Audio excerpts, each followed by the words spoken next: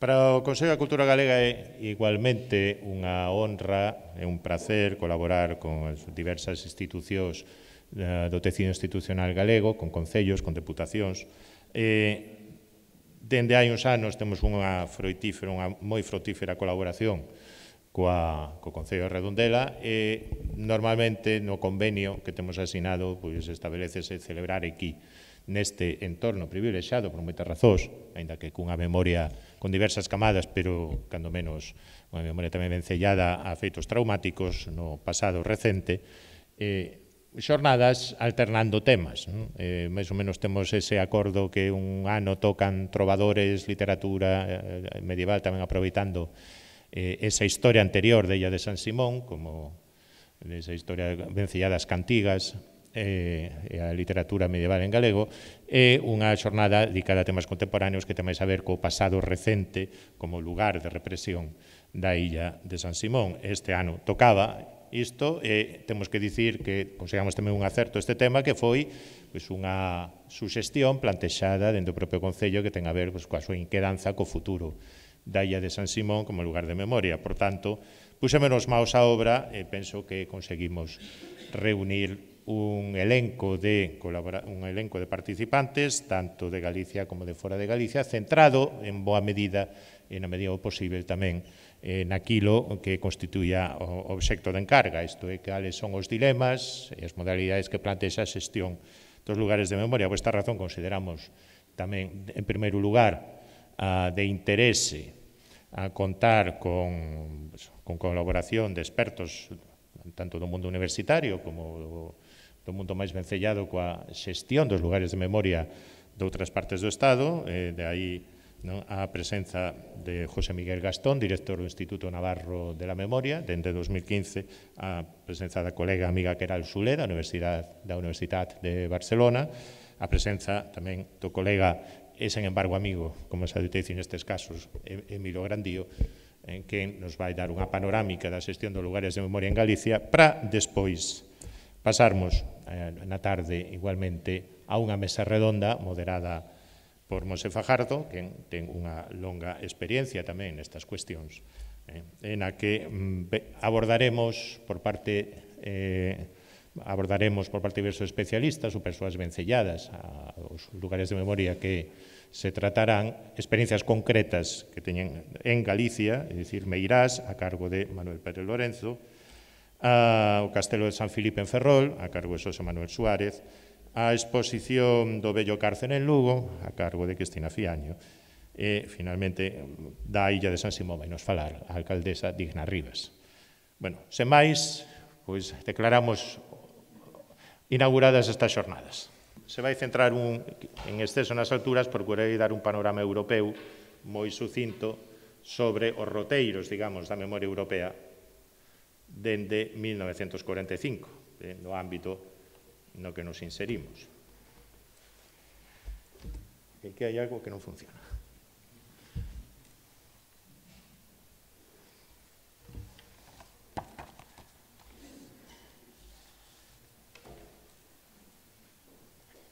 Ah, Agora, non?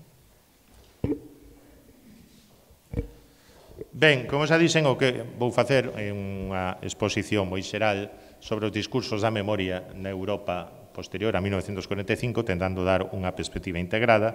Son os temas que últimamente, tende diversas perspectivas dos que tamén me veño ocupando, quizáis non tanto de experiencias concretas, das que se falarán noutros relatorios e intervencións na mesa redonda.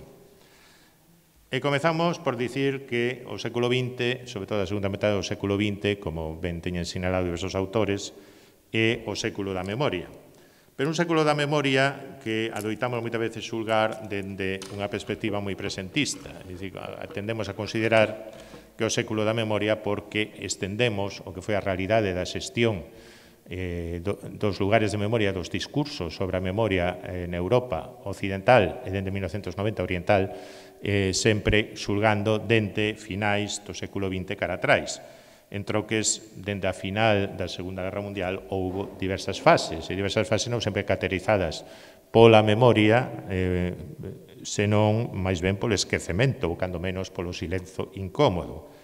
En este senso, mmm, falando en termos europeus, Hai unha primeira fase que vai entre 1960 e 1961, posterior á Segunda Guerra Mundial, no, que podemos denominar en parte de silenzo esquecemento. É dicir, unha fase na que se lembra a vitoria, non tanto as vítimas, na que impera o, se se quere, o eh, culto, digamos, a vertical, mm, no que na praxe, tanto en Europa Oriental como Occidental, con, diversas, con diversos matices, eh, consiste en condenar a algúns perpetradores dos crimes nazis, dos crimes do fascismo, pero desculpar ou reintegrar de maneira progresiva os pequenos nazis, os pequenos fascistas, os pequenos colaboracionistas.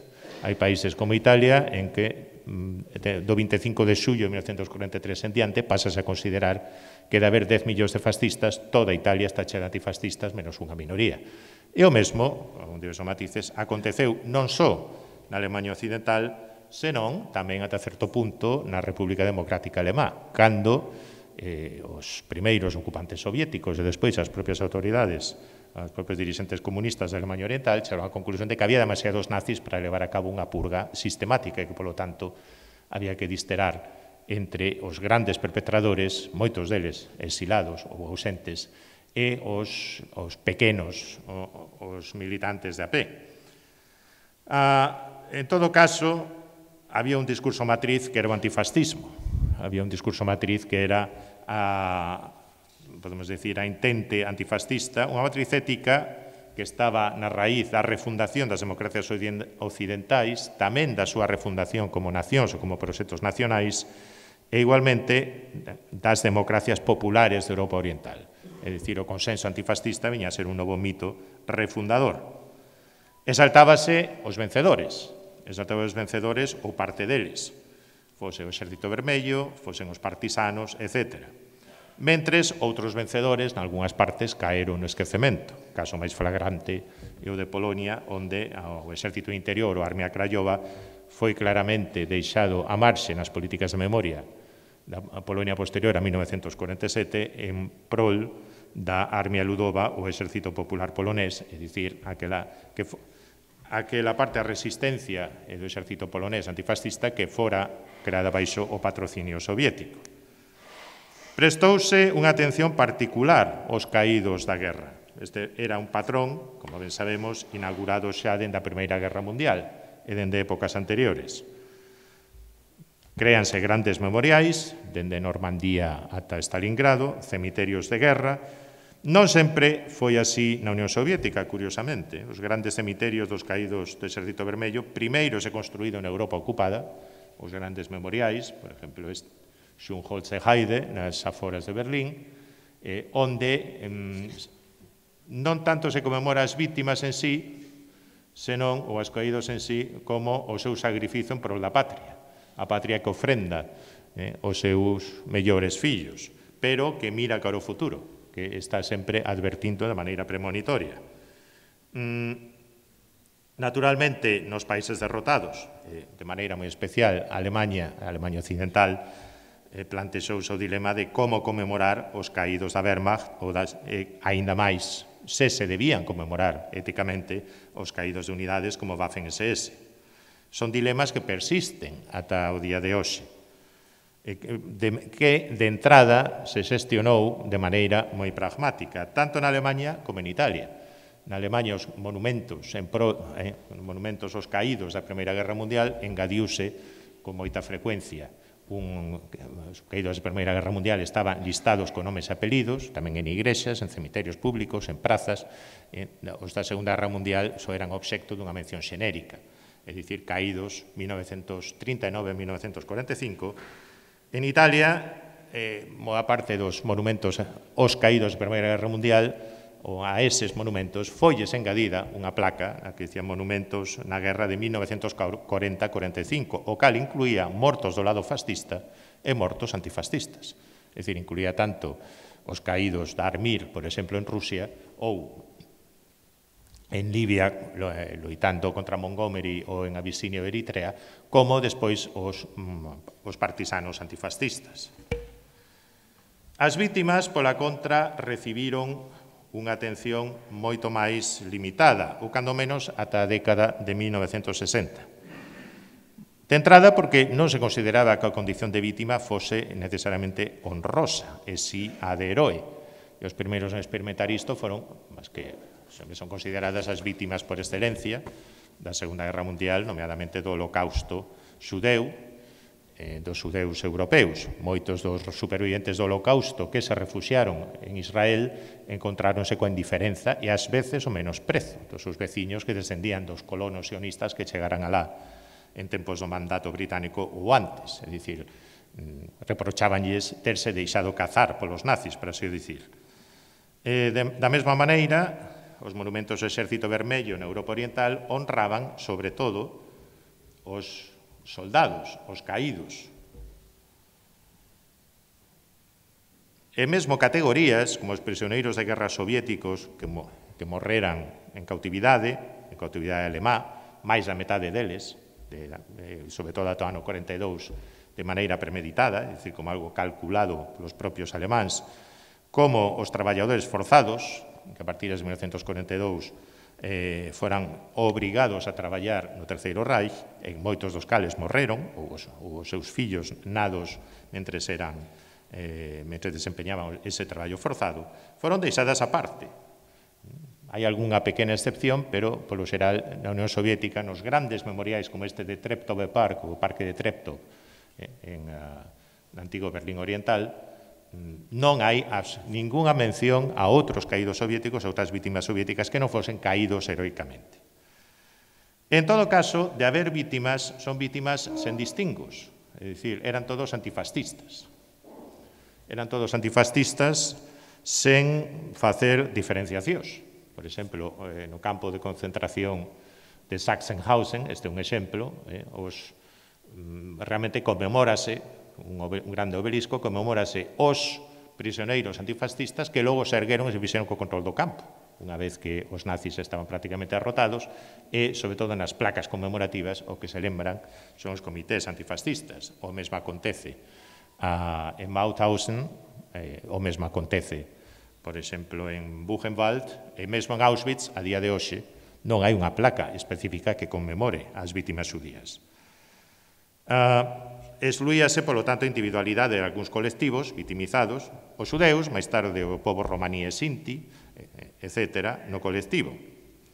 Por qué? Porque non se podían recoñecer xerarquías dentro das vítimas, este era o discurso imperante, e porque, ademais, recoñecer xerarquías o carácter especificamente antisemita do nacionalsocialismo mm, suporía romper o discurso de que o nacionalsocialismo era un disfraz a maiores do eh, expansionismo imperialista.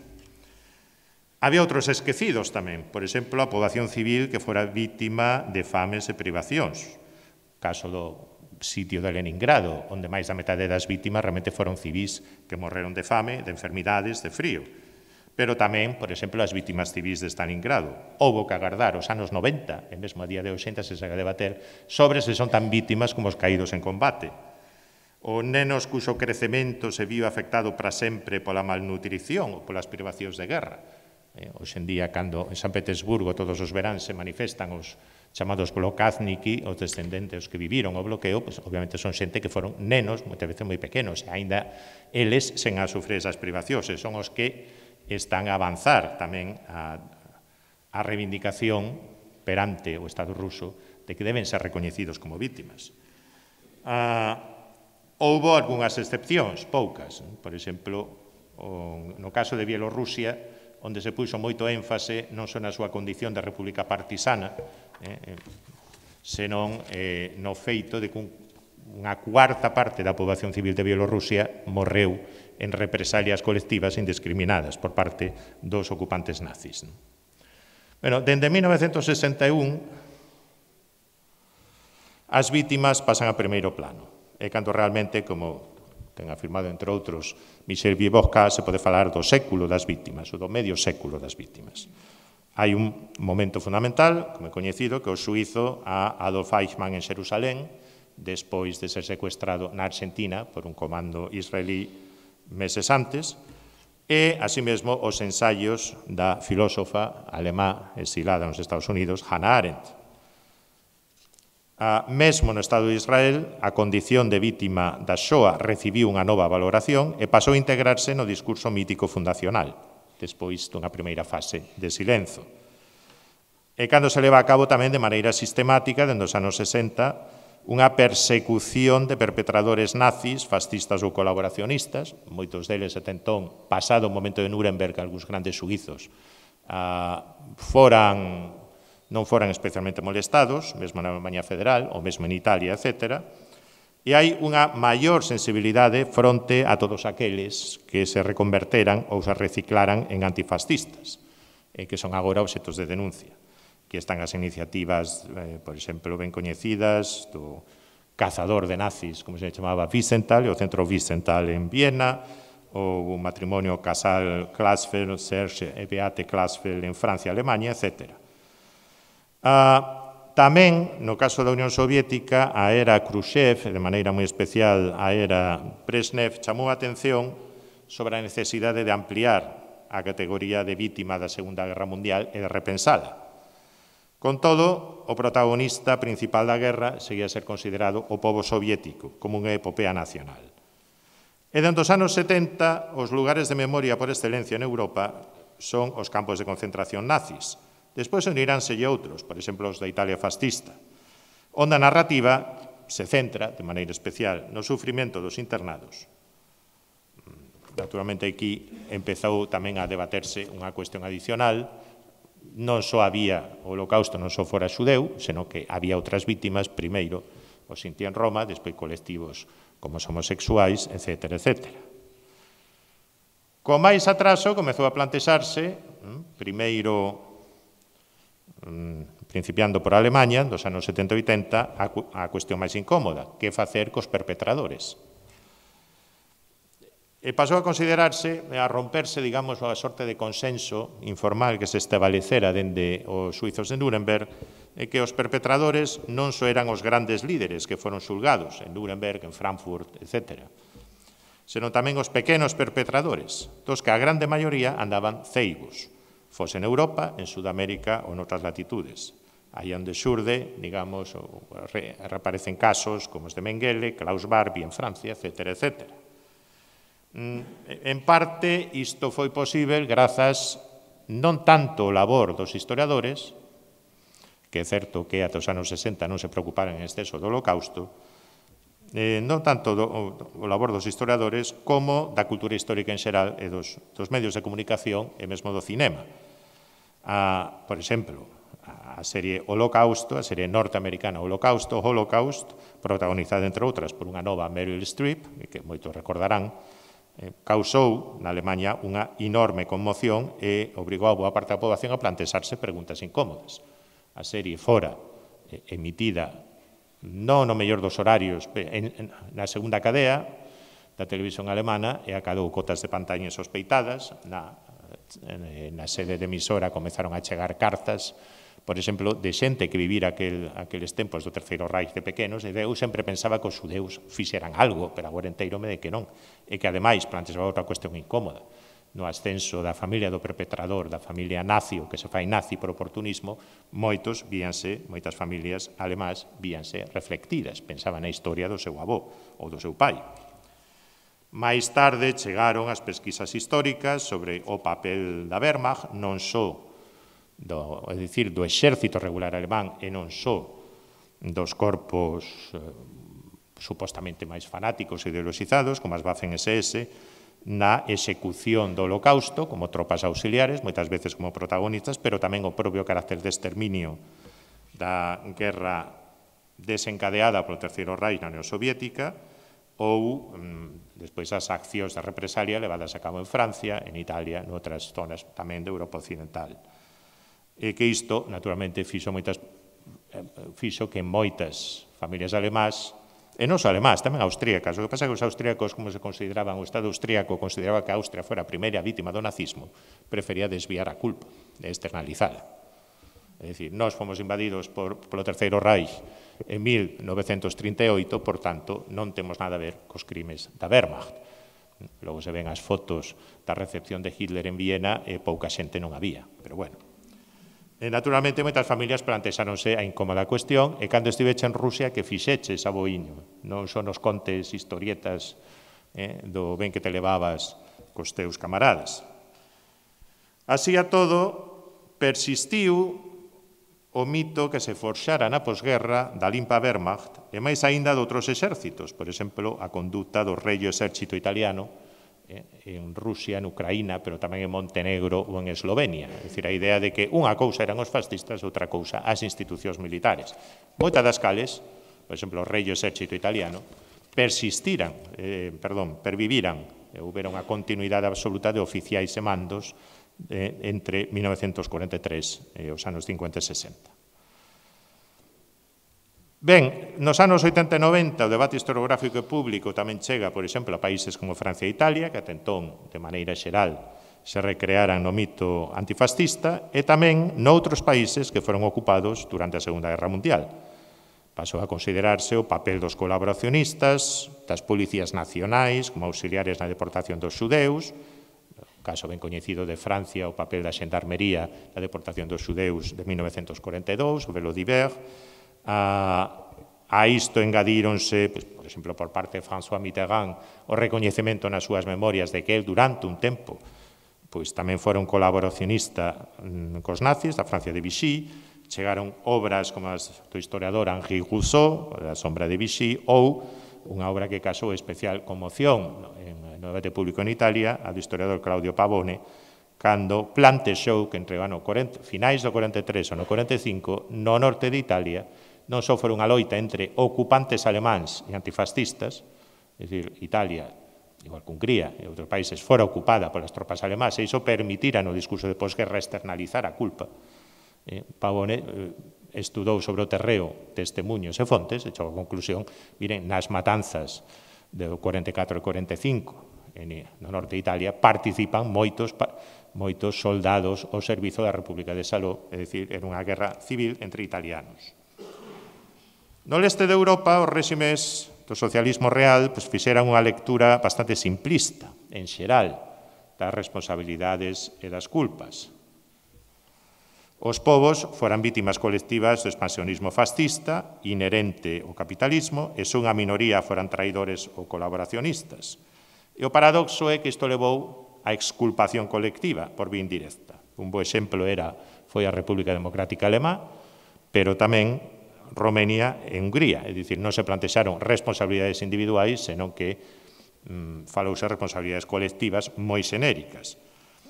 As vítimas eran antifascistas en matices, o cautiverio de, mi, de millóns de soldados alemáns, eh, baxiares, romaneses, en, eh, na Unión Soviética foron a sorte de expiación e onde se lles abriran os ollos fronte á realidade, a realidade do que fora o fascismo. A, Nalgúns deses países, con todo, era sobre todo o caso de Polonia, tamén coexistían memorias clandestinas. No caso, por exemplo, da matanza de Katyn, de oficiais poloneses a cargo da, da, Policía Política Soviética en 1940, ou as guerrillas anticomunistas que persistiron no Báltico, eh, nos países bálticos, sobre todo, pero tamén en Bielorrusia e en Ucraína, ata entrados os anos 50, os que se lles chamaban eufemísticamente os irmáns do bosque, as deportacións estalinistas, etc. Bueno, os anos 90 caracterizáronse polas memorias do comunismo, pola volta de antigos fantasmas. E a caída do bloco comunista levou en parte a algo que, se, que non, co que non se contaba nas ciencias sociais dos anos 80, que foi a remerxencia de nacionalismos de corte xenófobo na Europa Oriental, discursos sobre a memoria nacional, ben engraxados por novos institutos de memoria nacional que se crearon dende Estonia ata Hungría, e que concibían a ocupación, o período comunista como unha ocupación estranxeira, como unha ocupación soviética, e unha interrupción da soberanía nacional. Iso figura, por exemplo, eh, agora mesmo na Constitución húngara. Houve unha recuperación da memoria dos deportados do estalinismo, das resistencias nacionais aos soviéticos ah, como os partisanos da, do exército insurxente ucraíno ah, ou bálticos, ou da resistencia propia pero non subordinados soviéticos ou protagonizada polos prosoviéticos dos, dos nazis. É o caso, por exemplo, da memoria do erguemento de, de Varsovia de agosto de 1944. O, se pasean por Varsovia poderán ver eh, de, dúcias e dúcias de placas onde recordan feitos de armas específicos. Se visitan o Museo do Ergamento de Varsovia en, eh, na capital polonesa, poderán ver que non hai, hai unha mención, unha, o ergamento previo do gueto de Varsovia en xullo do 43. O resto é todo un discurso nacional e, ademais, con certos tintes católicos, etc. Onde, por suposto, toda a nación polonesa se enfrontaba invasor. E non hai mencións apenas á armia ludova, obviamente á resistencia comunista. E tivo lugar, ademais, unha remoción de lugares de memoria de monumentos soviéticos en algúns países bastante máis sistemática do que noutros. Eh, por exemplo, estes son estatuas que xa nos, no Memento Park de Budapest xa nos anos 90, que hoxe é unha atracción turística. Non é que se eliminaron todas, en outros casos os monumentos soviéticos foron ah, domesticados, non? Pois é o caso, por exemplo, o monumento do Exército Vermello que tamén preside Budapest, onde se cambiaron todas as inscricións, tiráronse as estrelas vermellas, pero curiosamente despois o obelisco que está situado na Praza Liberdade mm, segue no seu lugar, xusto enfrente da Embaixada Norteamericana, iso sí, a 20 metros puxeron unha estatua de Ronald Reagan, bueno, máis cousas, pero... E surdiron tamén eh, novos lugares de memoria, o cal levou a regueifas, en fin, nas que non me vou estender agora, eh, cos monumentos herdados de épocas anteriores, sobre a súa posible resignificación, etc. Eh, por exemplo, este monumento aos defensores da forteza de Brest, adicados de, aos defensores soviéticos, que hoxe en día está medio resignificado como para eh, connotar que se da un lugar de resistencia bielorrusa e non tanto soviética. En outros casos, os monumentos soviéticos foron obxectos de boicots imaginativos, pintáronse de rosa, etc. Este, por exemplo, é o caso da eh, estatuas liberadores soviéticos que estaban no centro de Sofía. Eh, Outros monumentos soviéticos, sen embargo, pasaron eh, desapercibidos, eh, no entanto, do día de hoxe. E mesmo, por exemplo, estou a Lioxa de Plovdiv, Plovdiv é unha cidade preciosa de Bulgaria, eh, onde hai un, unha estatua que preside a cidade, eh, que, cuxo modelo auténtico de un soldado soviético morreu non hai moito, e eh, que foi tomado e eh, que é considerado polos habitantes da cidade mm, fronte a todos os tentos que existiron tamén por parte do Estado búlgaro de retirar eh, ou de demoler a, a, a estatua, pois foi defendido por, por considerar que facía parte xa da identidade cidadá ata o día de hoxe. Claro, estes monumentos normalmente chamaselles Alioxa, é dicir, Alexis, diminutivo de Alexis, que como chamalos Pepiño ou chamalos Manoliño, non? é dicir, hai unha adopción de algúns monumentos, pois outros non. Isto ten a ver en parte porque nalgúns países de Europa Oriental adoptouse un discurso mimético do holocausto, a idea de que a ocupación soviética tamén fora un xenocidio, xenocidio cultural, ás veces demográfico, eh, noutros países, sen embargo, en outros países isto non foi así. E tamén hai relatos, eh, precisamente esa incorporación desas novas sensibilidades, que moitas veces levaron tamén a exculpación de antigos colaboracionistas nazis eh, e, ou de perpetradores directamente eh, durante a Segunda Guerra Mundial, caso moi debatido, por exemplo, na Ucraína dos nacionalistas liderados por Stepan Bandera ou Roman Šulevich, mm, Isto tamén levou, eh, cando se defrontaron, cando a Unión Europea defrontou o reto de crear un relato de historia europea, o sea, a relatos de forzadas caracterizados polas forzadas equidistancias. Eh, por exemplo, o caso da Casa de Historia Europea, The House of European History, en Bruselas.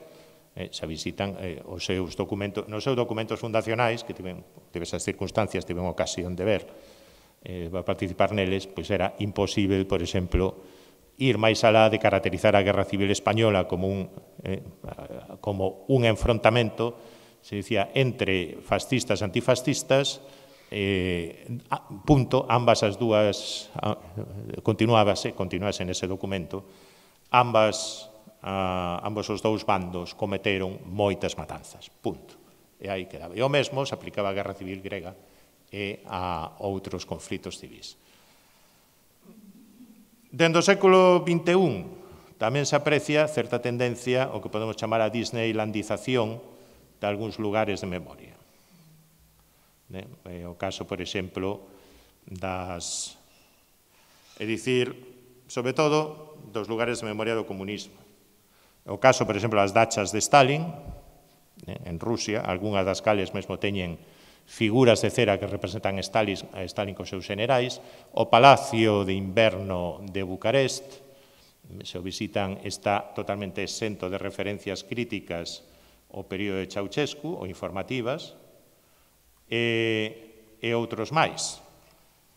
O mesmo o cuartel de Targoviste, en Romenia, co lugar de execución dos Chauchescu, onde non se engade narrativas críticas e o único que se busca é que haxa turistas.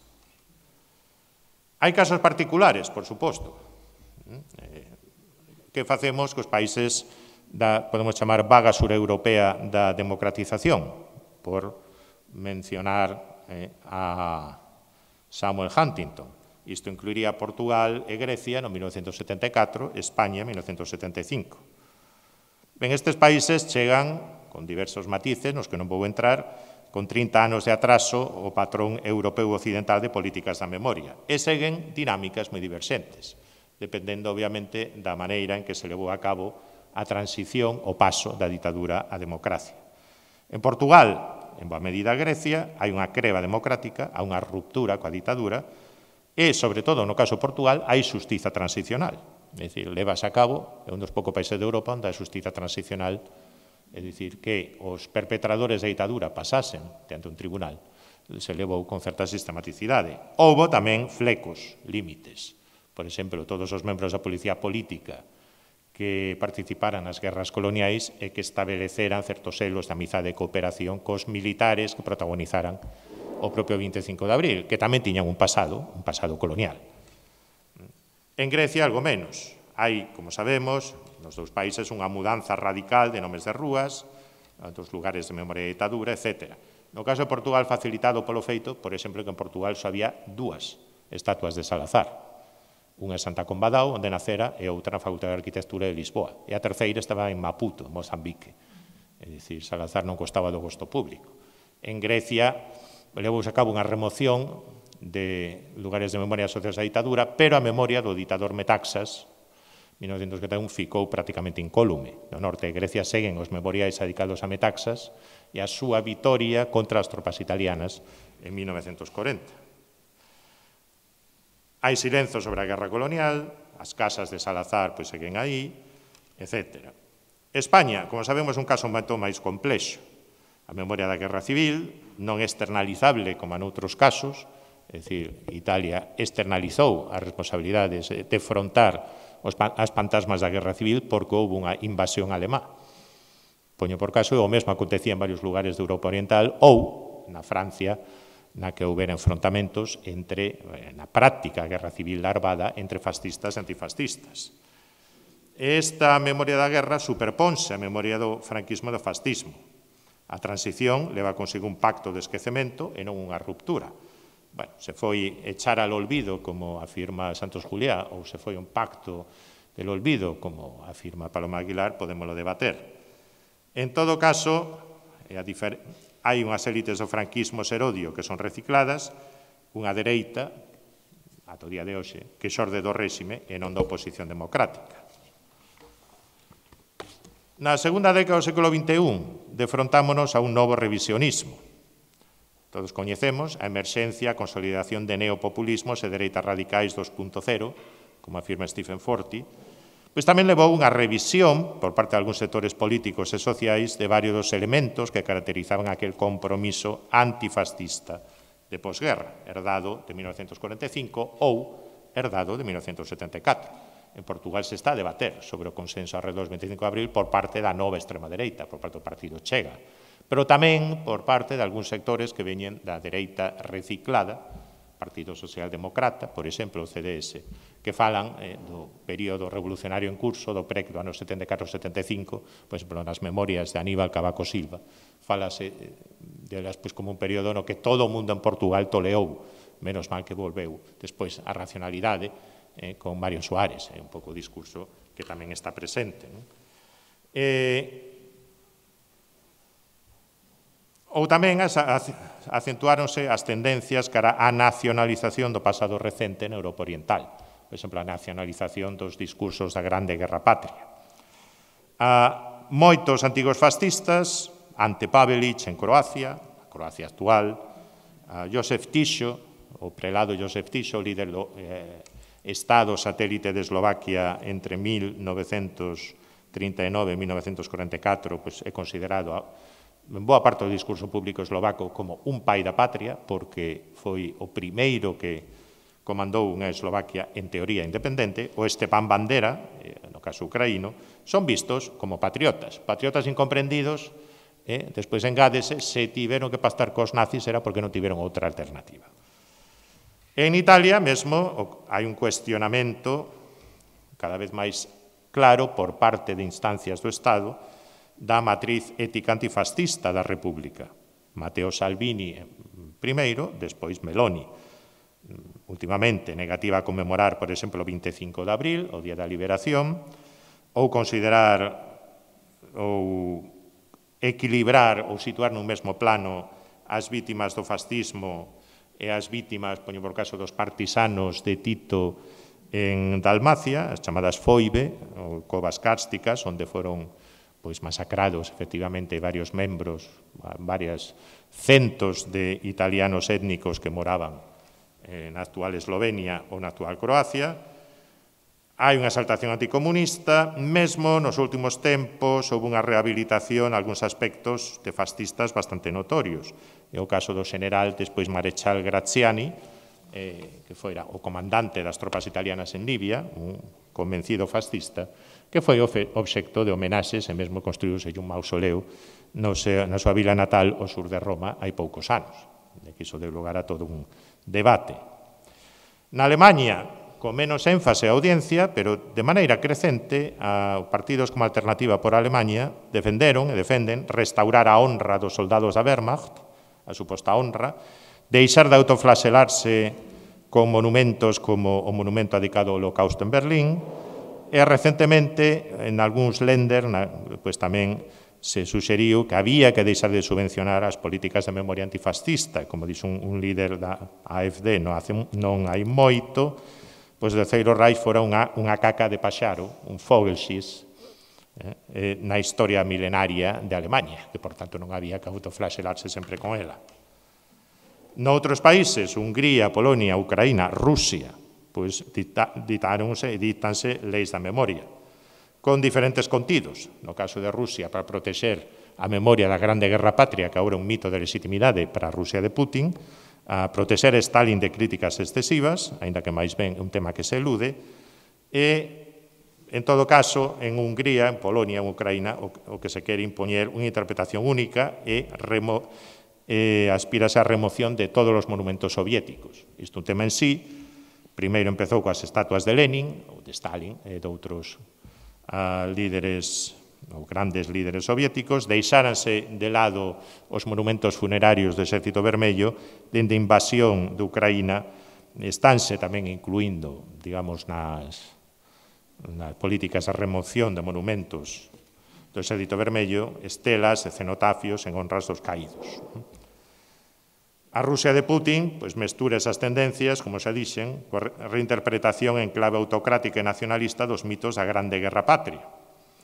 E se dá unha certa visión benigna de Stalin e as vítimas do stalinismo son toleradas mm, son toleradas pódenselle erixir memoriais algúns deles, por exemplo, en bosques onde se sabe que foran afusilados eh, deportados do stalinismo, hai moitos menos en cidades, pero non hai un recoñecemento explícito por parte do Estado.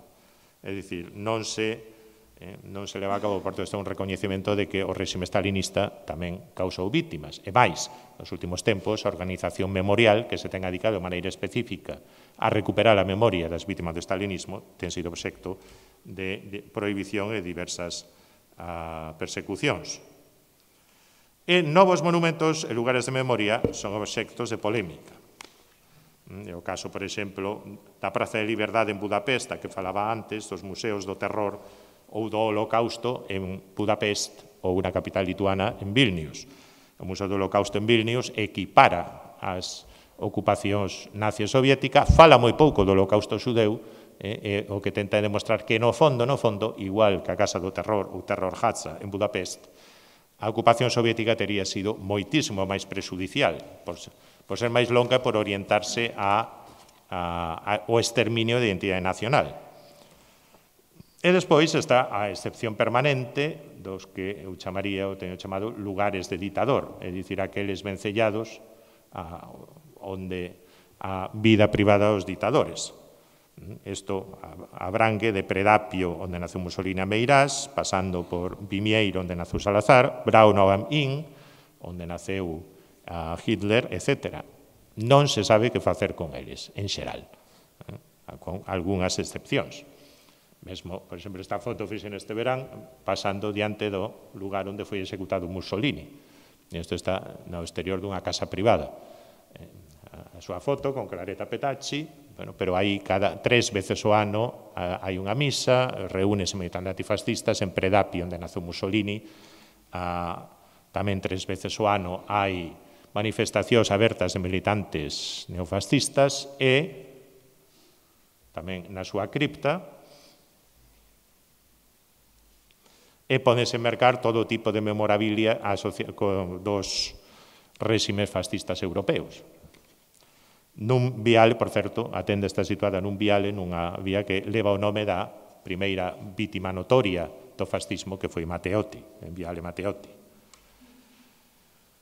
E ao mesmo tempo, como sabemos, eh, para ir pechando este panorama xeral, se están reactualizando ou descubrindo cadáveres no armario anteriores ao fascismo, ou anteriores ao stalinismo, anteriores, en todo caso, ao período de entreguerras. Vou citar algúns a memoria crítica do colonialismo, anda onde chegarmos, a Cristóbal Colón, aos conquistadores e descubridores, os exploradores, o rei Leopoldo de Bélxica, o exterminio dos Nakba Herero en Namibia polo poder colonial alemán, 1904, como integrar isto dentro do discurso da memoria antifascista ou da memoria crítica das ditaduras. As guerras coloniais recentes son moito máis, adoitan ser temas moito máis problemáticos en países onde o paradigma antifascista parecía máis consolidado, caso moi claro é Portugal. Eh, probablemente vostedes coñecen todos ou máis dun visitaría isto que está perto do Palacio Presidencial de Belém. Eh, aí está ese monumento tan abstracto é o monumento aos mortos de ultramar. E así se chama, os mortos de ultramar. Quen son os mortos de ultramar? Pois son soldados portugueses caídos nas guerras coloniais. Atrás hai un muro onde están todos, de todas as guerras coloniais portuguesas, dende 1961 ata 1975. Non están as tropas, os mortos, mm, boa parte dos casos, os mortos das tropas auxiliares coloniais, por suposto, non se lembra as vítimas causadas polo propio exército portugués, este monumento de comezos do século XX.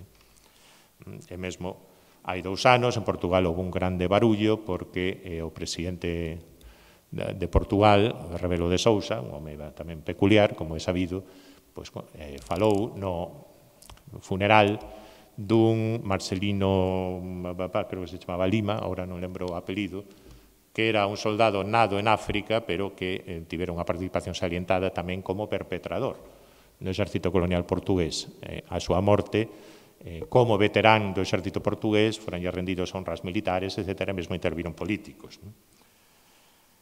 Hai unha variante de xénero destas violencias, por exemplo, o tema das violacións, da violencia sexual. É un debate que, sobre todo, se ten plantexado en Europa Oriental verbo do exército vermello como perpetrador, como, é dicir, os soldados soviéticos como a responsáveis de violacións masivas. Este é un tabú, eh, ainda discútese na historiografía, no discurso público, é un tabú que rara vez ten acadado o discurso conmemorativo. Eu xa topei esta excepción, isto foi unha estatua dun artista polaco que no 2012, durante eh, eh, deseñou ou ideou esta escultura, unha escultura brutal, chamase Frau Kom, é dicir, que su, supostamente o que lle dicían os soldados soviéticos moitas veces as mulleres alemás, e onde se retrata en directo de maneira clara e explícita unha violación. É dicir, un soldado soviético apuntando cunha pistola a unha muller embarazada e que está violando. Esta estatua estivo cinco horas exposta. Eh. El puxo aí ás seis da mañá, ás cinco da mañá, fixo moitas fotos, a difusión, aos, ás tres horas, o embaixador soviético chamara a policía de Gdansk, antiga Danzig, que onde se expuxo. A Carón, non se ve moi ben a fotografía, pero estaba a Carón dun monumento soviético, dun tanque, sobre un pedestal, un T-34, e a estatua foi retirada. Eu tentei contactar co, co escultor, pero non, non me foi posible ata agora. Non, porque non penso que este estatua, esta estatua volveu o seu, o seu obradoiro. A cuestión é que esta consideración pública de soldados ocupantes como violadores mm, sega a ser ainda un tema por explorar, que non só afecta aos soviéticos, tamén afecta a tropas francesas eh, ocupantes na Alemanha, aos propios alemáns ocupantes noutros países, etc. E, finalmente, a infancia, son vítimas non sempre tidas en conta, que moitas veces son vítimas colaterais. No discurso conmemorativo ruso, bielorruso, por exemplo, lembrase moitas veces os nenos, pero como neno soldado, como membros heroicos do Exército Vermello, pero non como vítimas. Eh, pois, unha película eh, se chama Soldatic, neno soldado, ¿no? que, que un pouco unha exaltación de como tamén os nenos soviéticos loitaron pola patria. Bueno, conclusións, e con isto sí que remato. Non hai modelos por excelencia, do meu punto de vista, se hai experiencia tens que aprender, pero cada país, cada sociedade procura o seu propio camiño sobre que conmemorar, ás veces que esquecer, e sobre todo como xestionar os lugares de memoria. Sabemos polo xeral que facer cos lugares de memoria vencellados ás víctimas, tanto de guerras coloniais como de ditaduras e guerras protagonizadas por réximes totalitarios ou autoritarios. O debate é outro, que vítimas incluir, como xerarquizalas, ampliar os colectivos, e non caer nunha banalización da categoría de vítima. Por suposto, mm, debate paralelo, son todas as vítimas iguais. É dicir, centrar o discurso das vítimas non leva quizáis a unha a equiparación moral ética dos bandos en conflito debemos lembrar Stalingrado, poñamos por caso, como un lugar onde morreron moitos soldados alemáns, moitos soldados soviéticos, eh, austríacos, romaneses, etc., e civís, ou haberá que ir un paso máis alá. Terceiro, pois sempre un problema, constitúe un problema que facer cos lugares de memoria vencellados os perpetradores, os seus nomes e símbolos. Sempre se van veou entre a damnatio memoriae, eh, é dicir, condear o esquecemento, segundas épocas, a resignificación crítica ou a disneylandización. E máis aínda, o seu aproveitamento turístico. O aproveitamento turístico de moitos destes lugares de memoria. Isto é un debate que se plantexou en Predapio ou, por exemplo, no, no, no Niño da Águia, na, no complexo onde Hitler pasaba a parte do seu tempo nos Alpes Bávaros, eh, o chamado Ove Salzberg. Eh, é dicir, os turistas van igual, porque unha cousa se chama Google, eh, en en eh, internet un pode seguir unha páxina web onde pode ver case onde durmiu Hitler cada día. Se quere facer unha rota específica, o que se chama turismo negro, con unha categoría moi ampla, pode o facer. O alcalde da localidade natal de Mussolini, Giorgio Frassinetti, un personaxe tamén peculiar, vencellado que era do Partido Poscomunista, do Partido Democrático, máis ou menos plantexou eh, non vos gosta que faga un museo ou que se plantexe un posible museo adicado ao fascismo crítico. Os, os turistas van vir igual, a cuestión é que os neofascistas se sintan incómodos. Perpetradores, finalmente, é unha categoría elástica, pero case nunca esculcada en profundidade. E, naturalmente, a hora de conmemorar, onde poñemos o límite? É dicir, quitámoslle todas as rúas Álvaro Cunqueiro, pola súa actitude entre 1936 e os anos 40.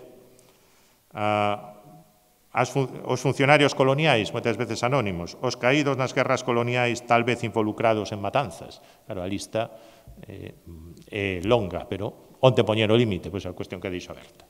E, como saben, os galegos sempre acabamos plantexando máis cuestións, eh, respondendo ás preguntas con outras preguntas. Bueno, máis nada, moitas grazas.